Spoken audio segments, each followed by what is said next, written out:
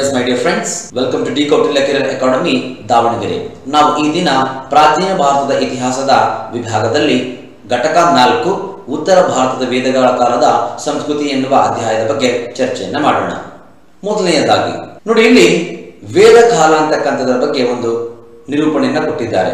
ಸಿಂಧೂ ಬಯಲಿನ ನಾಗರಿಕತೆ ನಶಿಸಿದ ನಂತರ, ಸಿಂಧೂ ಬಯಲಿನ ನಾಗರಿಕತೆ ನಶಿಸಿದ ನಂತರ ಭಾರತದಲ್ಲಿ ನಗರೀಕರಣದ ಮೊದಲನೇ ಹಂತ ಒಂದು ಅಂತಿಮ ಘಟ್ಟಕ್ಕೆ ಬಂದಿತ್ತು.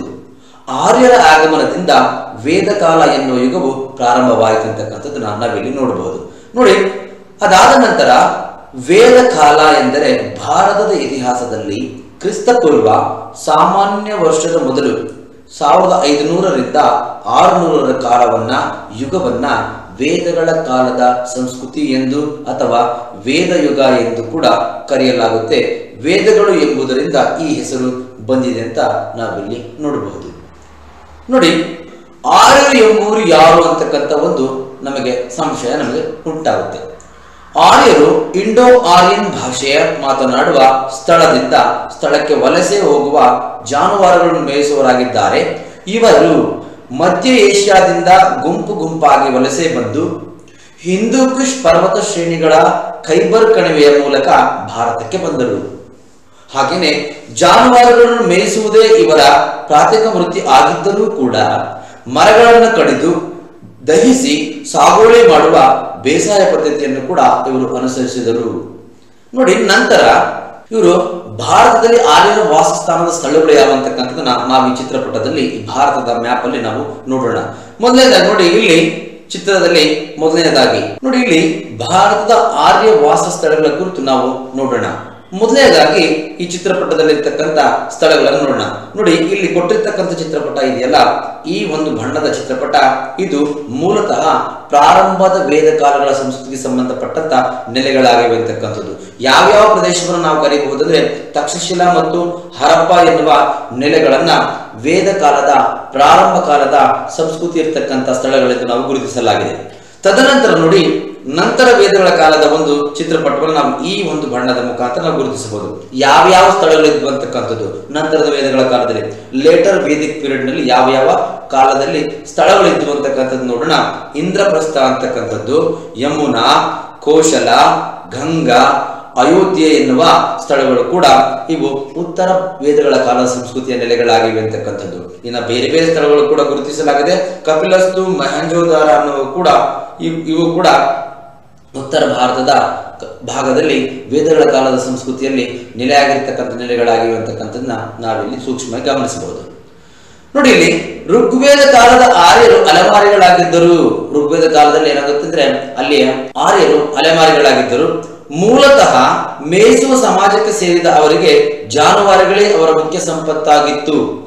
ಋಗ್ವೇದ ಕಾಲದಲ್ಲಿ ಆರ್ಯರ ವಾಸಸ್ಥಳವು ಪಂಜಾಬ್ ಆಗಿದ್ದು, ಆವಾಗ ಆ ಪ್ರದೇಶ ಸಪ್ತ ಸಿಂಧು ಅಂದರೆ ಏಳು ನದಿಗಳ ಹರಿಯುವ ಒಂದು ಭೂಪ್ರದೇಶ ಎಂದು ಕರೆಯಲ್ಪಟ್ಟಿತು ಸಪ್ತ ಸಿಂಧು ಅಂದರೆ ಏಳು ನದಿಗಳ ಹರಿಯುವ ಒಂದು ಭೂಪ್ರದೇಶವನ್ನ ಸಪ್ತ ಸಿಂಧು ಎಂದು ಕರೆಯಲಾಗುತ್ತದೆ. ನಂತರ ನೋಡಿ, ಕ್ರಿಸ್ತಪೂರ್ವ ಸಾವಿರದರಲ್ಲಿ ಏನಾಗುತ್ತೆ? ಆರ್ಯರು ಪೂರ್ವದ ಕಡೆಗೆ ಚಲಿಸಿ ಸಿಂಧು ಗಂಗಾ ನದಿಯ ಮೈದಾನದಲ್ಲಿ ನೆಲೆಗೊಂಡರು. ಸಿಂಧು ಮತ್ತು ಗಂಗಾ ನದಿಯ ಮೈದಾನದಲ್ಲಿ ಏನ್ ಮಾಡ್ತಾರೆ ಇವರು? ನೆಲೆಗೊಳ್ತಾರ. ಹಾಗೇನೆ ಕಬ್ಬಿಣದ ಕೊಡಲಿ, ಕಬ್ಬಿಣದಿಂದಾದ ಚೂಪಾದ ನೇಗಿಲುಗಳನ್ನ ಸಾಮಾನ್ಯವಾಗಿ ಉಪಯೋಗಿಸುತ್ತಿದ್ದರು. ಅವರು ಬಳಸ್ತಕ್ಕಂತ ಇವು ಒಂದು ಆಯುಧಗಳು ಅಥವಾ ಅವರು ಬಳಸ್ತಕ್ಕಂತ ಅಗ್ರಿಕಲ್ಚರ್ಗೆ ಸಂಬಂಧಪಟ್ಟಂತ ವಸ್ತುಗಳಾಗಿದ್ದುವು. ನಂತರ ನೋಡಿ ನೋಡಿ ಇಲ್ಲಿ ವೇದಗಳ ತಕ್ಷಣ ನಮಗೆ ನಾಲ್ಕು ವೇದಗಳನ್ನು ನಾವು ನೋಡಬಹುದು. ಮೊದಲನೆಯದು ಋಗ್ವೇದ, ಎರಡನೆಯದು ಯಜುರ್ವೇದ, ಮೂರನೆಯದು ಸಾಮವೇದ, ನಾಲ್ಕನೆಯದು ಅಥರ್ವಣ ವೇದ. ನೋಡಿ ಇಲ್ಲಿ ಆಧಾರಗಳು ಯಾವ್ಯಾವ ದೊರೆತಿವೆ ವೇದಗಳ ಕಾಲದ ಸಂಸ್ಕೃತಿಯಲ್ಲಿ ಅಂತ ನಾವು ಮೊದಲನೇದಾಗಿ ನೋಡೋಣ. ವೇದಗಳ ಕಾಲದ ಸಂಸ್ಕೃತಿಯಲ್ಲಿ ವೇದ ಕಾಲದ ಸಾಹಿತ್ಯಗಳು ಯಾವುದು? ವೇದ ಕಾಲದ ಸಾಹಿತ್ಯಗಳನ್ನು ಎರಡು ವಿಭಾಗಗಳಾಗಿ ವಿಂಗಡಿಸಬಹುದು. ಮೊದಲನೆಯದು ಶ್ರುತಿಗಳು, ನಾಲ್ಕು ವೇದಗಳು, ಬ್ರಾಹ್ಮಣಕಗಳು ಅರಣ್ಯಕಗಳು ಮತ್ತು ಉಪನಿಷತ್ತುಗಳು ಒಳಗೊಂಡಿರುವುದೇ ಶ್ರುತಿಗಳಾಗಿವೆ ಅಂತಕ್ಕಂಥ ಯಾವ್ದಾವಂದ್ರೆ ನಾಲ್ಕು ವೇದಗಳು, ಬ್ರಾಹ್ಮಣಕಗಳು, ಅರಣ್ಯಕಗಳು, ಉಪನಿಷತ್ತುಗಳು. ನಾಲ್ಕು ಭಾಗಗಳನ್ನ ಶ್ರುತಿಗಳೆಂದು ಕರೆಯಲಾಗಿದೆ. ನೋಡಿ ಇವುಗಳನ್ನ ಪವಿತ್ರವಾದವುಗಳೆಂದು ಕೂಡ ನಂಬಲಾಗಿದೆ. ಶಾಶ್ವತವಾದವುಗಳು ಪ್ರಶ್ನೆಗಳನ್ನು ಕೇಳಲಾಗದ ಸತ್ಯ ಎಂದು ಅಭಿಪ್ರಾಯಪಡಲಾಗಿದೆ. ಶ್ರುತಿ ಎಂಬುದು ಕೇಳಿಸಿಕೊಳ್ಳುವುದು ಎಂದರ್ಥ. ಅಲಿಖಿತ ಎಂಬ ಅರ್ಥವನ್ನು ಕೂಡ ಒಳಗೊಂಡಿದೆ. ಇವುಗಳನ್ನು ಮೌಖಿಕವಾಗಿ ಮುಂದಿನ ಪೀಳಿಗೆಗೆ ವರ್ಗಾಯಿಸಲಾಗುವುದು. ನೋಡಿ ಎರಡನೆಯದು ಸ್ಮೃತಿಗಳು.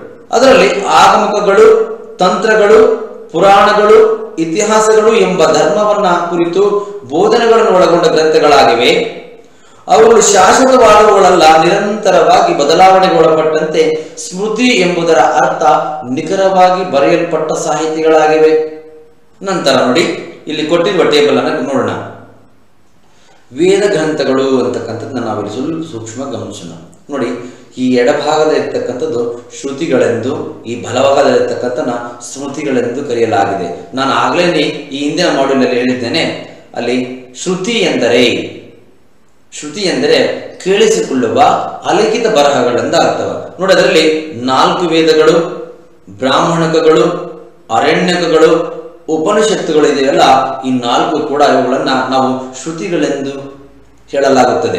ಇನ್ನು ಸ್ಮೃತಿ ಎನ್ನುವ ವಿಚಾರಕ್ಕೆ ಬಂದಾಗ ನಾವು, ಇಲ್ಲಿ ಸ್ಮೃತಿಯಲ್ಲಿ ಇತಿಹಾಸಗಳು, ರಾಮಾಯಣ, ಮಹಾಭಾರತ, ಸೂತ್ರಗಳು, ಧರ್ಮಸೂತ್ರ, ಮನುಸ್ಮೃತಿ, ನಾರದ ಸ್ಮೃತಿ ಹಾಗೇನೆ ಪುರಾಣಗಳು ಶಿವಪುರಾಣ ವಿಷ್ಣು ಪುರಾಣ ಎನ್ನುವ ಈ ಅಂಶಗಳನ್ನ ನಾವು ಸ್ಮೃತಿ ಎಂದು ಕರೆಯಲಾಗುತ್ತೆ ನಾನು ಈಗ ಎಲ್ಲ ಮೆನ್ಷನ್ ಮಾಡಿರ್ತಕ್ಕಂಥ ಪ್ರತಿಯೊಂದು ಅಂಶಗಳು ಕೂಡ ಇವೆಲ್ಲವೂ ಕೂಡ ಲಿಖಿತ ಆಧಾರದ ಮುಖಾಂತರ ಮಾಹಿತಿ ನೀಡುವ ಒಂದು ಆಧಾರಗಳಾದ ಕಾರಣ ಇವನ್ನ ಸ್ಮೃತಿಗಳೆಂದು ಕರೆಯಲಾಗುತ್ತದೆ. ನಂತರ, ಇಲ್ಲಿ ಪುರಾತತ್ವ ಆಧಾರಗಳು ಯಾವಿದೆ ಅಂತಕ್ಕಂಥದ್ದನ್ನು ಗಮನಿಸೋಣ. ಪುರಾತತ್ವ ಆಧಾರಗಳು ಏನ್ಷಿಯಂಟ್ ಆರ್ಕಿಯಾಲಜಿಕಲ್ ಸೋರ್ಸಸ್ ಅಂತಕ್ಕಂಥದ್ದು ಗಮನಿಸೋಣ. ಸಿಂಧು ಮತ್ತು ಗಂಗಾ ನದಿಯ ಬಯಲುಗಳಲ್ಲಿ ಪಂಜಾಬ್, ಉತ್ತರ ಪ್ರದೇಶ ಮತ್ತು ರಾಜಸ್ಥಾನ ಪ್ರದೇಶಗಳ ಪುರಾತತ್ವ ಸಂಶೋಧನೆಗಳಲ್ಲಿ ದೊರೆತ ಕಬ್ಬಿಣದ ಉಪಕರಣಗಳು, ಮಡಿಕೆಗಳು, ವೇದಗಳ ಕಾಲದ ಸಂಸ್ಕೃತಿಗೆ ಆಧಾರಗಳಾಗಿವೆ ಅಂತಕ್ಕಂಥದ್ದು. ನೋಡಿ ರಾಷ್ಟ್ರೀಯ ಗುರಿ ಏನಿದೆ? ಸತ್ಯಮೇವ ಜಯತೆ ಅಥವಾ ಸತ್ಯವೇ ಗೆಲ್ಲುತ್ತದೆ ಎಂಬ ವಾಕ್ಯವನ್ನ ಮಂಡೋಕ ಉಪನಿಷತ್ತಿನಿಂದ ಪಡೆದುಕೊಳ್ಳಲಾಗಿದೆ. ನಂತರ ನೋಡೋಣ. ವೇದಕಾಲ ಸಂಸ್ಕೃತಿಯಲ್ಲಿ ರಾಜಕೀಯ ಮತ್ತು ಸಮಾಜ ಅಥವಾ ರಾಜಕೀಯ ಜೀವನ ಮತ್ತು ಸಮಾಜ ಯಾವ ರೀತಿ ನಿರ್ಮಾಣವಾಗಿತ್ತಂತಕ್ಕಂಥ ಅಂಶವನ್ನು ಗಮನಿಸೋಣ. ಮೈ ಡಿಯರ್ ಫ್ರೆಂಡ್ಸ್ ನೋಡಿ ವೇದಗಳ ಕಾಲದ ವರ್ಗೀಕರಣವನ್ನು ಕೊಟ್ಟಿದ್ದಾರೆ. ವೇದ ಕಾಲದ ಎರಡು ಘಟ್ಟಗಳನ್ನಾಗಿ ಅದನ್ನು ವಿಭಜನೆಯನ್ನು ಮಾಡಲಾಗಿದೆ. ಮೊದಲನೆಯದು ಪೂರ್ವ ವೇದಗಳ ಕಾಲ, ಎರಡನೆಯದು ಅಥವಾ ನಂತರದ್ದು ಉತ್ತರ ವೇದಗಳ ಕಾಲ ಎಂದು ವಿಭಜನೆಯನ್ನು ಮಾಡಲಾಗಿದೆ. ಪ್ರಾರಂಭದ ವೇದಗಳ ಕಾಲದ ಒಂದು ಸಂಸ್ಕೃತಿಯನ್ನ ಕ್ರಿಸ್ತಪೂರ್ವ ಸಾವಿರದ ಐದುನೂರರಿಂದ ಸಾವಿರದವರೆಗಿನ ಒಂದು ಅವಧಿಯನ್ನ ಅದನ್ನು ನಾವೇನಂತ ಕರಿತೀವಿ ಅಂದ್ರೆ ಪೂರ್ವ ವೇದಗಳ ಕಾಲದ ಸಂಸ್ಕೃತಿ ಎಂದು ಗುರುತಿಸಲಾಗಿದೆ. ಎರಡನೆಯದು ಉತ್ತರ ವೇದಗಳ ಕಾಲದ ಸಂಸ್ಕೃತಿ ಅಂತಕ್ಕಂಥದ್ದು. ನಂತರ ವೇದ ಕಾಲದ ಸಂಸ್ಕೃತಿ ಕ್ರಿಸ್ತಪೂರ್ವ ಸಾವಿರದಿಂದ ಆರುನೂರರವರೆಗಿನ ಒಂದು ಅಸ್ತಿತ್ವದಲ್ಲಿದ್ದ ಒಂದು ಸಂಸ್ಕೃತಿಯನ್ನು ನಾವು ಉತ್ತರ ವೇದಗಳ ಕಾಲದ ಸಂಸ್ಕೃತಿ ಎಂದು ಗುರುತಿಸಲಾಗಿದೆ.